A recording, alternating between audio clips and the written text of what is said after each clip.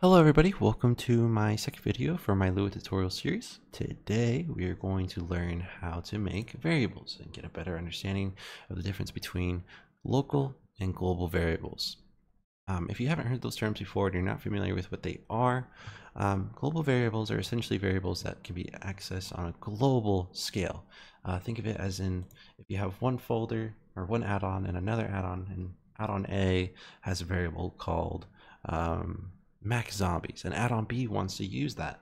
Um, the only way add-on B is going to be able to use that variable is if our Mac Zombies variable is a global variable. If we create a local variable, then that variable is only going to exist in that file and its specific location. So um, a quick example of a variable is uh, we're going to write out a local variable. So whenever you write a variable, um, specifically a local one, you're going to write local then it's going to be followed by the name of the variable. Um, this can be called whatever. I'm just going to call it my name. And my name is Dan. So I'm going to assign it a string value of Dan.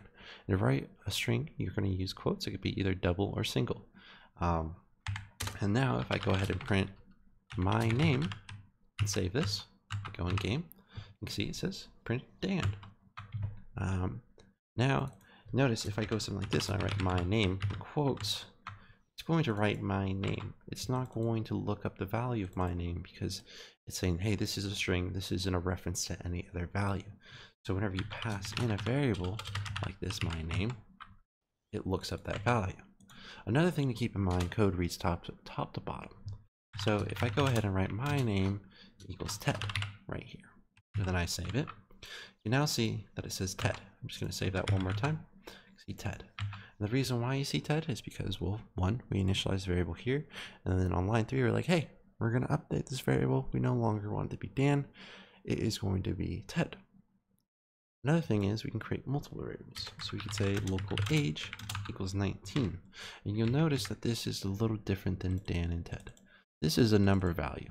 I could write it like this in quotes, and that would simply be a string. But the thing is, since this uh, is a number value. If we ever want to perform math with it, if we have it written as a string, we won't be able to perform math with it. So we have to make sure we keep our data types correct. In this case, it is an integer.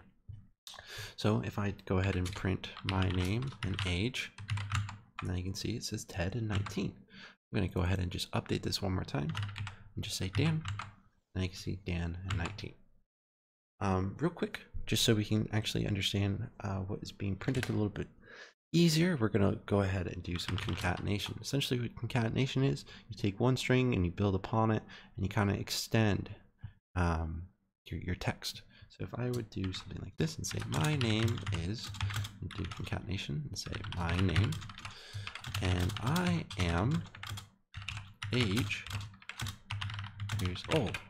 Just a quick explanation. We take this string and then what we're going to do is we're going to build upon it. So we do dot dot dot my name and then we want to build upon that further. So we do another dot dot to concatenate and concatenate this. Then we want to concatenate the value of the age. And then we want to concatenate this additional text to finish it off. So if I save it, go in, you can see my name is Dan and I'm 19 years old. So now we can see the difference. Um, I'm sorry, the specific values of each variable in a neat way. Okay. So now real quick, just to get a quick understanding of uh, local variables. Whenever we um, establish one, if I establish it on line three, since it is a local variable, I go ahead and try to print my name, you're gonna see in console nil. The reason why nil is happening is because my name doesn't exist on line two. It was established on line three, updated on line four, and then printed here and here. But in this case, whenever the code is executed. This value does not exist at the time, so it has a nil value. Um, and that goes the same for different files. If I want to go in here and say print my name, notice that this is the shared file of our add-on. I'm going to go ahead and print my name. You can see we get nil right there as well, just to save it one more time. Nil again. So yeah, we know that this variable is not working in this file. Okay, and that's a little unfortunate in some cases, but for uh, most common cases, it tends to be what you want because you want to be able to use your own names. This can be as little as x, y, um, and any any any name you want to call it, as long as you're not overriding another local variable or global variable case. Um, so your local variables they can be called whatever you want.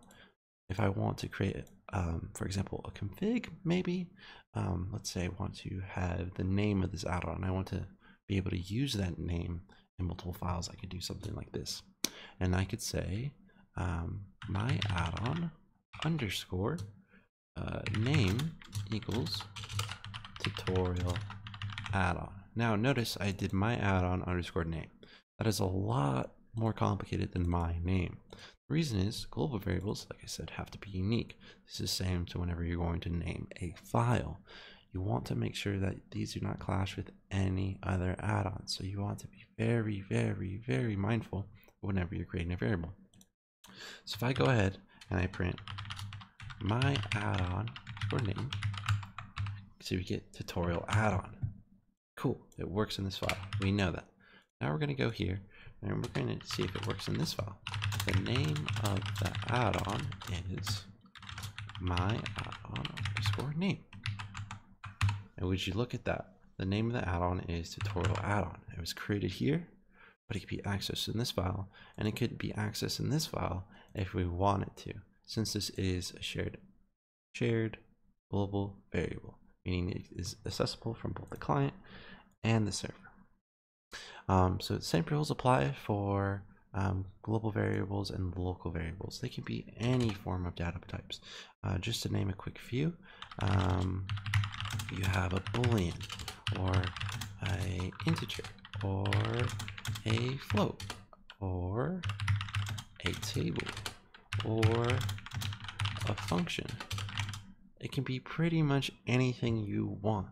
So you can use these to your advantage whenever you're creating your code, create neat, neat, nice configs, um, and just have things structured in a, a very uh, nicer way.